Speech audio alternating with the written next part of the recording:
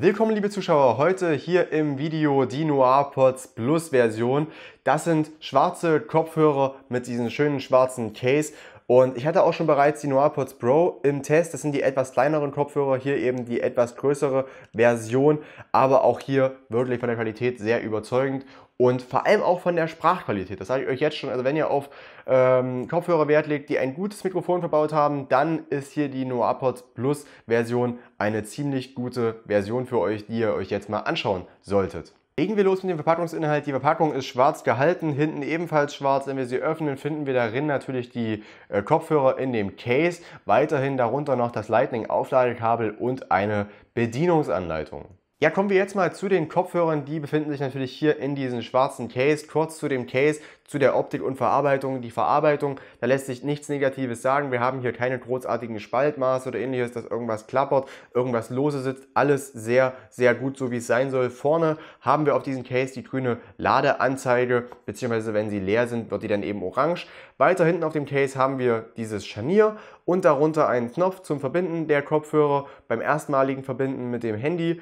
Ansonsten haben wir unten auch einen Lightning Aufladeanschluss. Das Schöne ist allerdings, die Kopfhörer können auch ganz normal auf einem Wireless Charging Pad geladen werden. Wenn wir sie dann mal in der Hand haben, beziehungsweise wenn ihr sie in der Hand habt, werdet ihr merken, dass das ähm, Schwarz eben nicht lackiert ist, sondern eben auch so ein gummiartiger Lack ist. Sehr, sehr schön, denn sie liegen dadurch richtig gut in der Hand. Es ist ein richtiger Handschmeichler, könnte man so meinen, äh, auch wenn das komisch klingt.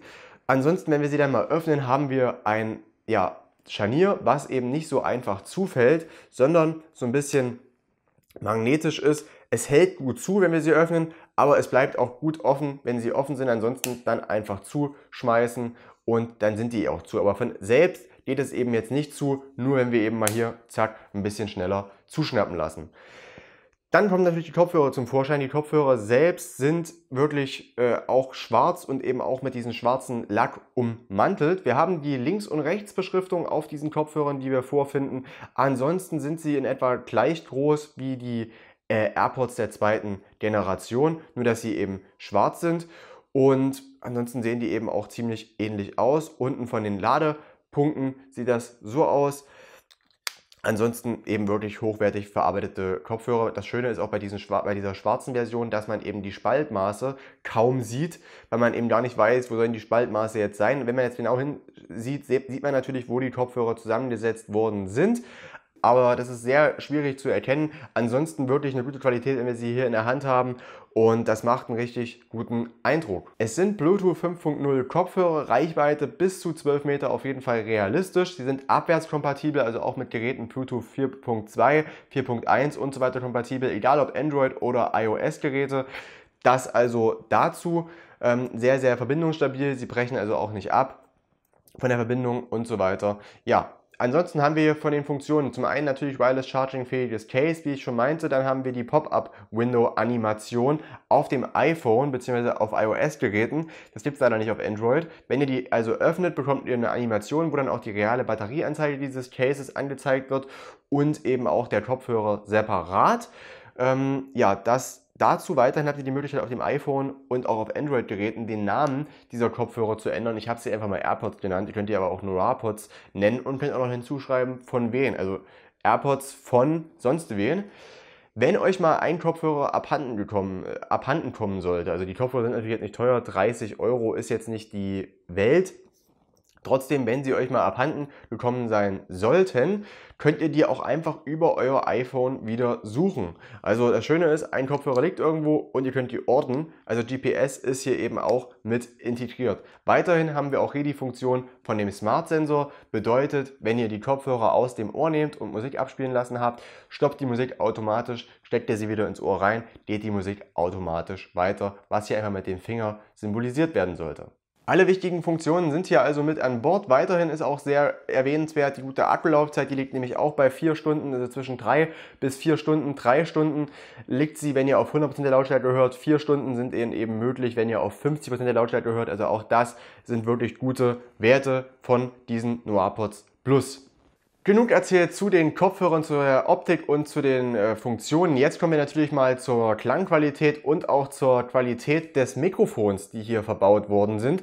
Und da gebe ich euch jetzt einfach mal diesen Testanruf. Ich habe einfach mal von einem Telefon die Kopfhörer verbunden, habe auf einem anderen Telefon angerufen und mit der Kamera aufgezeichnet. Und das könnt ihr euch jetzt einfach mal selbst anhören. Wie ihr hören konntet, ein wirklich sehr überzeugendes Mikrofon, denn das Mikrofon ist laut von der Lautstärke, versteht, man versteht einen sehr gut. Natürlich können die Hintergrundgeräusche nicht alle wunderbar rausgefiltert werden, wenn ihr also Hintergrundgeräusche speziell habt, einen Trubel von Menschen oder so, das kann nicht immer alles so perfekt rausgefiltert werden, gerade für diesen Preis nicht, aber wie ihr hören konntet, ist dieses Mikrofon schon ganz, ganz weit oben bei diesen äh, Kopfhörern angesiedelt. Also da gibt es andere Fakes, die einfach nur schlechtere äh, Mikrofone haben und das ist ganz, ganz weit vorne mit dabei von diesen Noirpods Plus. Also sowas Gutes habe ich selten bei Fakes gehört. Wenn ich überhaupt schon mal sowas gehört habe, dass das so klar und auch deutlich war. Also Klangqualität vom Mikrofon sehr gut. Ja, und auch von der Klangqualität von den Kopfhörern, wenn ihr Musik hört, kann man dazu sagen, ich persönlich finde den Klang ziemlich gut, weil ich war echt überrascht, als ich die Kopfhörer in meinem Ohr hatte. Ich finde erstmal kurz, ganz kurz, um euch das zu äh, verdeutlichen, das sind die schwarzen Kopfhörer, sehen so aus. Ich persönlich finde, die schwarzen Kopfhörer sehen einfach besser aus als die weißen. Die weißen trägt jeder, äh, ja, Louis draußen rum, wenn man das jetzt mal so sagen kann. Und das Schwarz sieht einfach in meiner Ansicht einfach ein bisschen besser aus. Ganz einfach. Sitzen auch wirklich gut im Ohr, kann man überhaupt nicht meckern. Und von der Klangqualität kann man sagen, dass die Klangqualität mich ein bisschen geflasht erstmal hat, weil ich habe die Kopfhörer auf lauterste Lautstärke gehört. Auf einmal kam halt wirklich Bass in dem Lied vor und es hat einfach nur so gedrückt im Ohr, war extrem krass. Also da dachte ich mir so, wow, was hier für Bass rauskommt. Die sind sehr, sehr basslastig. Allgemein sind die jetzt nicht so ein kompletter Allrounder, dass man damit jedes Lied hören kann, denn die sind eben ein bisschen basslastiger und eben auch dadurch dumpfer. Muss, muss man also mögen. Gerade wenn ihr eben basslastige Lieder viel hört, werdet ihr diese Kopfhörer lieben. Wenn ihr jetzt allerdings wirklich Lieder hört, wo kaum Bass vorkommt, könntet ihr eben sagen, okay, das ist mir doch ein bisschen zu dumpf, das wird mir ein bisschen verfälscht. Also das passt dann nicht 100%. Wenn ihr aber wirklich basslastige Lieder hört, dann gebt euch diese Kopfhörer, die geben euch einen richtig guten Bass. Da werdet ihr überzeugt sein, weil der Bass ist bei diesen Kopfhörern so besser als bei den äh, normalen AirPods beispielsweise. Trotzdem sind natürlich die AirPods in der Hinsicht einfach ausgewogener vom Klang, indem sie eben in aller, also in den Höhen und Mitten einfach noch besser wären. Hier, die sind eben allgemein ein bisschen dumpfer, trotzdem in meinen Augen überhaupt kein schlechtes Sounderlebnis, eben einfach ein bisschen dumpfer, ansonsten ziemlich genial. Das also jetzt zu den Noirpods Plus. Das soll es jetzt auch von diesem Test dieser Kopfhörer gewesen sein. Ich kann euch wirklich sagen, ziemlich gute Kopfhörer hier in der schwarzen Version. Gefallen mir richtig gut. Vor allem eben hat mich bei diesen Kopfhörern das Mikrofon überzeugen können, denn man kann darüber richtig gut telefonieren. Fertig aus. Der Klang natürlich etwas dumpf, aber der Bass ist schon ziemlich, ziemlich genial kann auch auf jeden Fall überzeugen. Äh, die Verarbeitung, die Qualität, die Optik gefällt mir auch richtig gut und das für diesen Preis von gerade mal 30 Euro. Also muss man sagen, wenn ihr auf diese schwarzen Kopfhörer liebäugelt, dann sind glaube ich die Noirpods Plus einfach die richtige Wahl, haben ziemlich viele Funktionen, fast alle Funktionen äh, die es so gibt. Also gerade auch Namensänderungen und GPS, das sind mit die neuesten Funktionen. Dazu eine gute Akkulaufzeit, was immer mehr. Also das zu den NoirPod Plus. Ich bedanke mich bei euch fürs Zusehen. Würde mich freuen, wenn euch das Video gefallen hat. Bleibt also dran. Vielen Dank fürs Zusehen und bis zum nächsten Video.